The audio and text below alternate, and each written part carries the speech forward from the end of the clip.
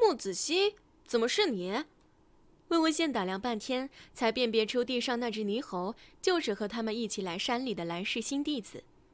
韩光君，魏师兄。木子熙挣扎着说完最后一个字，就彻底失去了意识。哥，怎么办？小猪蹄子看看他哥，再看看地上的猕猴，实在不知道该如何下手。这个人是在泥潭里打滚了吗？啊，算了，救人要紧。这家伙脏了吧唧的，总不能让自己家素衣若雪、黄瑞仙人的哥哥动手吧？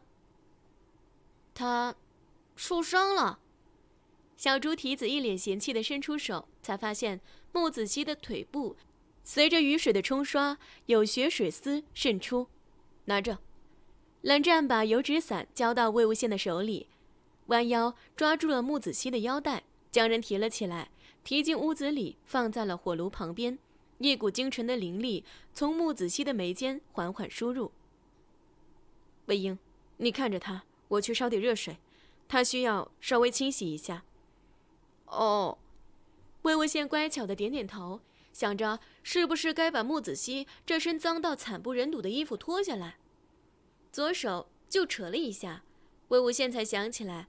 自己和哥哥的手腕上还系着让对方离自己不能超过半米的抹额呢。哥，我和你一起去。这根保命的抹额是千千万万不能解的，哥哥不在身边，心底的那份忐忑不安就会愈发的明显。好，面对魏无羡那可怜自己的小眼神，蓝湛心疼的还来不及，又怎么舍得拒绝呢？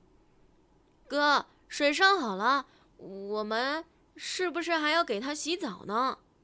嗯，熊熊燃烧的火焰舔舐着锅底。魏无羡蹲在灶台前，无比郁闷的用一根木棍搅弄着灶台里的木材。蓝湛点点头，看着小家伙那纠结郁闷的小表情，勾唇微微一笑。小家伙的心思太过明显，就差“我不想你碰别人”几个字写在脸上了。你不想我碰别人，我又怎么舍得让你去触碰他人呢？你醒了。魏无羡正想去找李婆婆家找个人，帮木子熙沐浴更衣的时候，木子熙缓缓地睁开了眼睛。韩光君，魏师兄，话没开始说，人已经哽咽，潸然而下的泪水在脏兮兮的脸上生生冲出两条泪痕。你受伤了。需要清理包扎，温水已经备好，你先去清洗一下。多谢。有了蓝湛灵力的加持，木子熙摇摇晃晃地站起。魏师兄，我这些只是皮外伤，不用上药。木子熙沐浴完毕，穿着魏无羡给他的衣服，又恢复了平日眉清目秀的样子。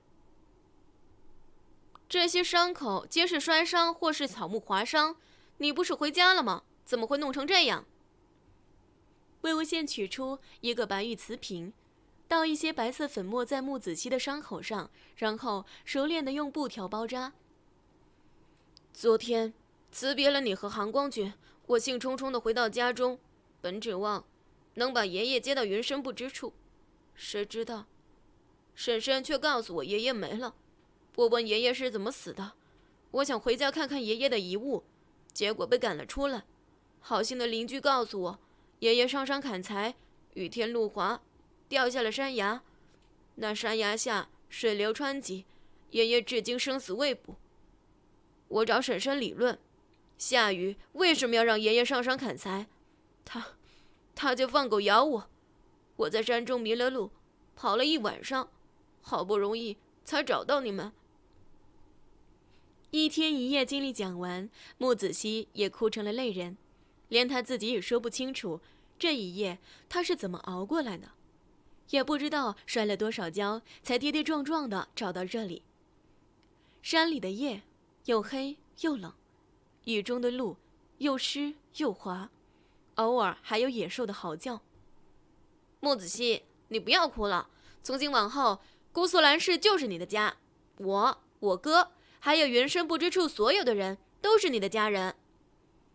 魏无羡安慰了木子熙好一会儿，才把他的情绪稳定住了，入夜，木子熙吃了一点东西，就在床上沉沉的睡去。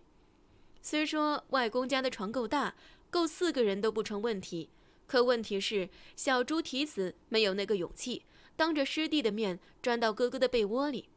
就算用结界隔开，木子熙看不到，也听不到。万一木子熙醒了，那不就是此地无银三百两了吗？